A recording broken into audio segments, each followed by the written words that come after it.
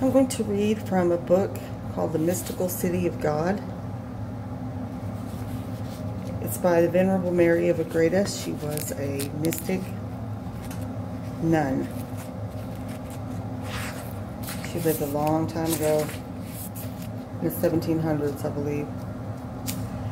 And the Virgin Mary appeared to her many times and told her about her life and had her write it down.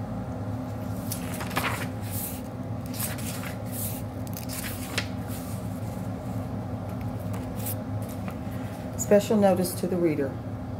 Revelations.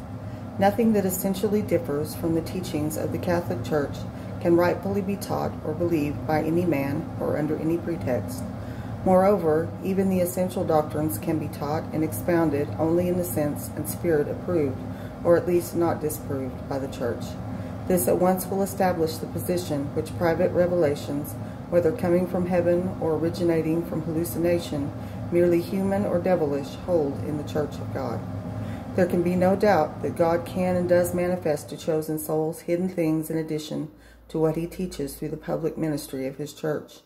It is also an accepted truth that he sometimes reveals them to his friends for the express purpose of communicating this extra knowledge to other well-disposed persons through the natural and human means at the disposal of those receiving his revelations.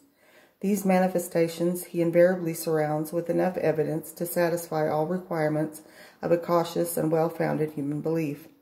It follows naturally that whenever he thus surrounds private revelations with evidences of their heavenly origin, he will be pleased with a rational and loving belief and dissatisfied with a captious and obstinate unbelief of the facts or truth thus privately revealed.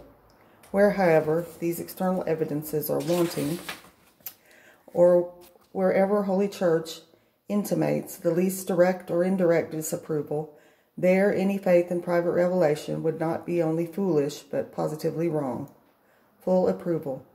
The Church has to yet give has as yet given no public and full approval to private revelations of any kind, nor will she ever do so, since that would be really an addition to the deposit of faith left by Christ.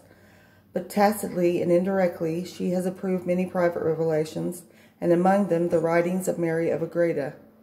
She could well do so, since there are no writings of that kind which exhibit more reliable human proofs of divine origin than the Ciudad de Dios of the venerable servant of God, Mary of Jesus of Agreda.